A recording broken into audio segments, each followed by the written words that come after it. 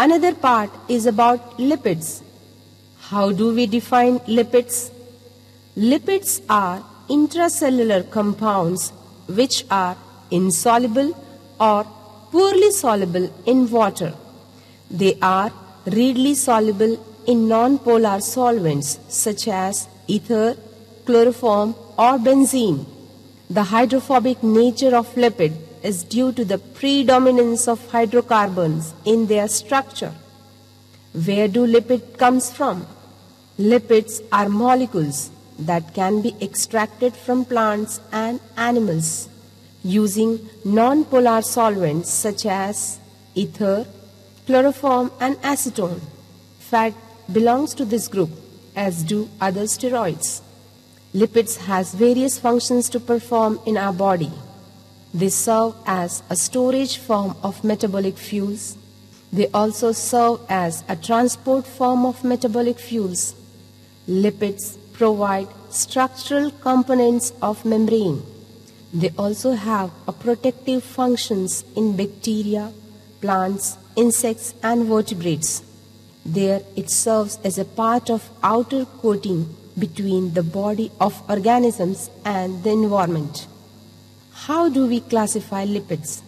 There are various way of classification of lipid, but one of the most common way is lipids are recognized or classified in five different ways.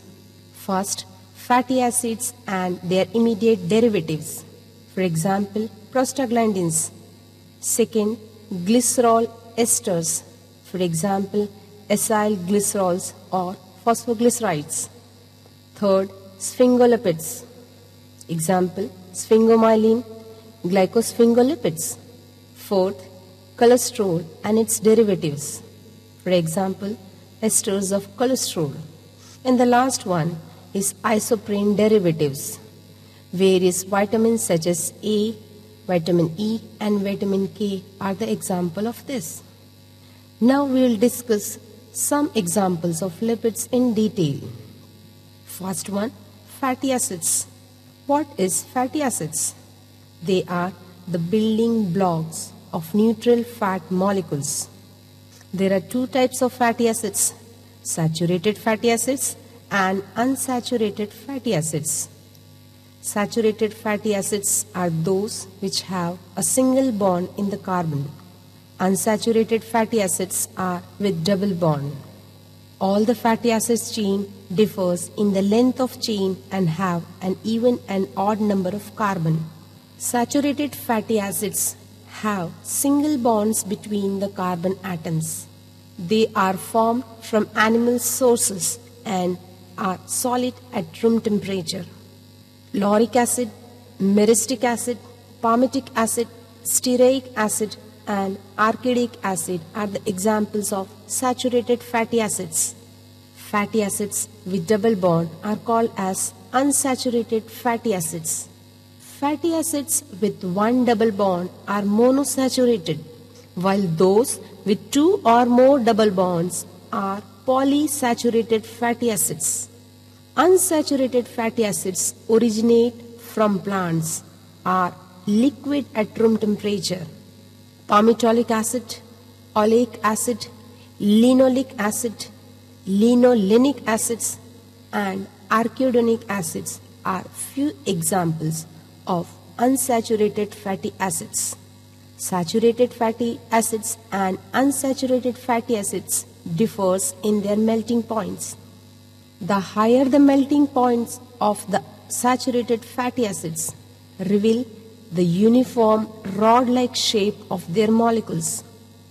The cis double bonds in the unsaturated fatty acid leads a twist in their shape which makes it more difficult to pack their molecules together in a stable repeating array or crystalline lattice. Two polyunsaturated fatty acids like linoleic and linolenic are considered as essential because there are absence in human diet which leads to the health problems such as scaly skin, stunted growth and increased dehydration. These acids are also precursors to the prostaglandins, which is a family of physiologically effective lipids present in minute amount in most body tissues. Another examples of lipids, fats and oil. The triesters of fatty acids with glycerol make up the class of lipids known as fats and oils. These triglycerides are found in both plants and animals. Breads and pastries from a bread factory often contain mono and diglycerides as the conditioners. Diglycerides that are solid or semi-solid at room temperature are classified as fats and those triglycerides that are liquid are called as oils. Fat occurs predominantly in animals and oil originates chiefly in plants. Properties of fat shows the predominance of saturated fatty acids and oils composed of unsaturated fatty acids. The difference between oils and fat lies in their melting temperatures rather than fundamental structural difference. This, the constituent compounds includes tetradecanoic acid, hexadecanoic acid, linoleic acid, oleic acid and glycerol. Another example of lipid is wax. Waxes are esters of fatty acids with long chain monohydric alcohols. Natural waxes are often combinations of such esters and may also contain hydrocarbons. Waxes are widely distributed in nature. Waxes form a protective covering over plants and fruits from dehydration and small predators. Feathers of birds and fur of some animals have similar coating which serve as a water repellent. Carnauba wax is valued for its toughness and water resistance. Another common example of lipid is phospholipids. Phospholipids are complex fat derivatives in which one fatty acid has been replaced by a phosphate group and one of several nitrogen containing molecules. Phospholipids form the largest class of lipids in all biological membranes. All phospholipid molecules are amphipathic in nature. This property makes two layers of phospholipid molecules in all biological membranes, which spread as sheets. The polar heads face towards the outer and the cytoplasmic side, while the non-polar tails are present in the inner side, forming the hydrophobic core of the membrane. Because of this property of biological membrane, it does not allow polar molecules and ions to pass through them with relative ease. Some phospholipids from unicellular organisms and vertebrate heart tissues contain ether linkages instead of ester linkages. For example, plasmalogen, platelet activating factor, is another such phospholipid in vertebrates. It is released from basophiles, which stimulates platelet aggregation and release of serotonin. There are two major classes of phospholipids. One, glycerophospholipids. Glycerophospholipid contain glycerol as alcohol. Another one, sphingophospholipid, which contain sphingosine as the alcohol. Glycerophospholipids are the main lipids that occurs in biological membrane. It consists of glycerol 3-phosphate esterified at its carbon 1 and carbon 2 with fatty acids. Generally carbon 1 contains saturated fatty acids whereas carbon 2 contains unsaturated fatty acids. There are different types of glycerophospholipids. For example, the most common one, phosphatidic acid. What is phosphatidic acid? is the simplest phospholipid. It is the intermediate in the synthesis of triacyl glycerols and phospholipids. It is present in low concentration in tissues. Another type of glycerophospholipid is phosphatidylcholine. It is also called as lecithins. This class are the most abundant group in phospholipid in cell membrane. Chemically, it is phosphatidic acid with choline as the base. It represents the storage form of body's choline. Another type is phosphoethanolamine, also called as cephalins. It is the nitrogenous base present in the cephalins. Another type is phosphatidylinositol. Phosphatidylinositol is the stereoisomer myinositol is attached to the phosphatidic acid to give phosphatidyl inositol. Another type is phosphatidylserine, which is named as amino acid serine present in this group. Another example is plasmalogens, which is when a fatty acid is attached by a ether linkage at carbon 1 of glycerol in the glycerophospholipid. The last type is cardiolipin. Its name as it was first isolated from the heart muscles. Chemically, it consists of two molecules of phosphatidic acid held by an additional glycerol through phosphate groups.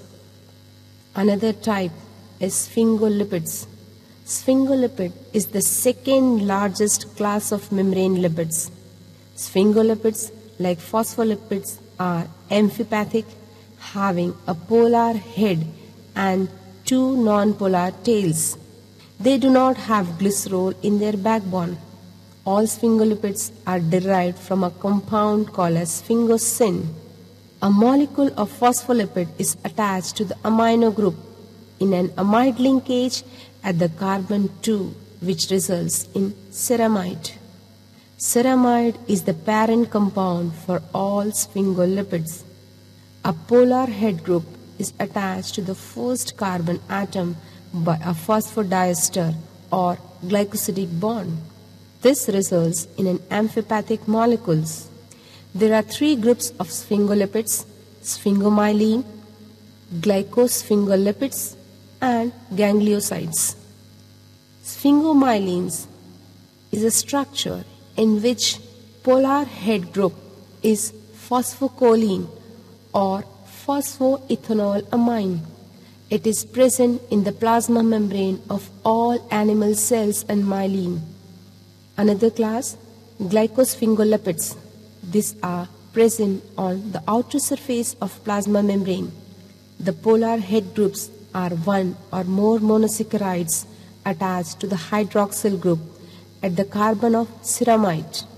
Galactose is the head group in the plasma membrane of neural tissue, while glucose in the non-neural tissue. Glycosphingolipids acts as a cell surface recognition molecules, especially as blood group substances. Another class is gangliosides. Gangliosides are complex sphingolipids with oligosaccharide as head having sialic acid at the, term, at the termini. Sialic acid conforms a negative charge to the sphingolipids at pH 7. Sialic acid confers a negative charge to the sphingolipid at pH 7. Another class of lipid is steroids. Steroids are lipids that contain four carbon rings joined to form a steroid nucleus. Steroids are oxidized derivative of sterols.